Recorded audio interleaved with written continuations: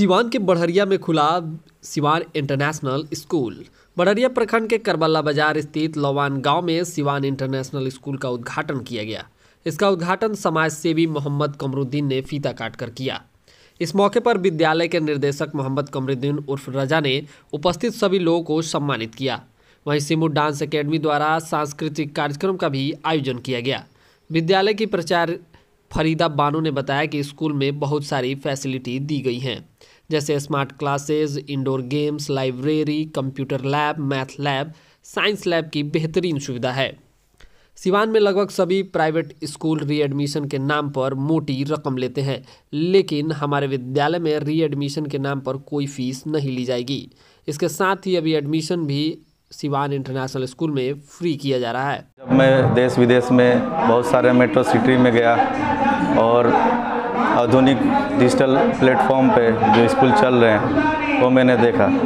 फिर मैंने ये सोचा कि अगर ईश्वर ने चाहा तो मैं एक ऐसा स्कूल का संचालन करूँगा, जो पूरे आधुनिक सुविधाएँ से लेस होगी। इससे यही कहना चाहेंगे, आप लोग इस स्कूल में आए सिवान इंटरनेशनल स्कूल में, एक बार देखें, फिर उसके बाद से आप खुद ही एडमिशन कराना चाहेंगे, क्योंकि हमारे यहाँ कैंटीन सीसीटीवी कैमरा और इसका science lab maths lab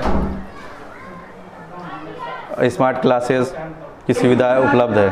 मुझे बहुत खुशी हो रही है कि एक छोटे से गाँव में सारी फैसिलिटी से लेस एक स्कूल खुला हुआ मैं थैंक्स कहना चाहता हूँ इस स्कूल के चेयरमैन मिस्टर राजा का, जो इन्होंने बहुत ही अच्छी पहल की है एक गाँव में। क्योंकि अभी तक हम देखते आ रहे थे कि मेट्रो सिटी में ये सारी फैसिलिटीज़ मिलती हैं बच्चों को। लेकिन इस गाँव के अंदर जो स्कूल खुला हुआ है सिवान इंटरनेशनल अपने में एक मतलब एक मिसाल है और मैं उन सारे पेरेंट्स से ये अपील करना चाहता हूँ कि एक बार सेवा का मौका दें, अपने बच्चों को इस स्कूल में भेजें और मिस्टर राजा, जो चेयरमैन है, उन्होंने एक मतलब कि एक, उन गरीब बच्चों का भी ध्यान रखा है, जो कि बच्चे पढ़ना तो चाहते हैं, लेकिन वो पढ़ नहीं पाते हैं। पेरेंट्स उनको पढ़ा नहीं पाते हैं। वो सोचते हैं कि हम ऐसे स्कूल में जाएँगे तो फ़ीस ज़्यादा होगी, ये तो इसको सबको ध्यान में रखते हुए जो चेयरमैन है, मिस्टर राजा, उन्होंने इस सब चीज़ को भी मतलब इंक्लूड किया हुआ, जो बच्चे नहीं फ़ीस जमा कर सकते, जो पेरेंट पढ़ा नहीं सकते अपने बच्चों को अच्छे स्कूल में, उनके लिए निःशुल्क मतलब यहाँ पे मतलब पढ़ाई यहाँ पे उपलब्ध है। स्कूल में बहुत सारी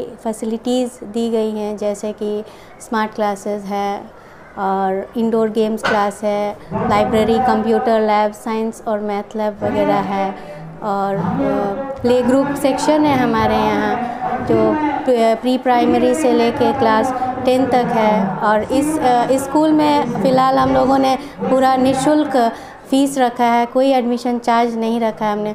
और आगे भी हम ये उम्मीद रखते हैं कि हम नेक्स्ट ईयर भी री एडमिशन जो हर स्कूल लेते हैं, ये हम लोग नहीं लेंगे। ये री एडमिशन जो है बहुत सारे गार्जियन जो हैं ये कंप्लेन करते हैं कि हर स्कूल प्राइवेट सेक्टर वाले जो हैं, वो फ्री री एडमिशन लेते हैं।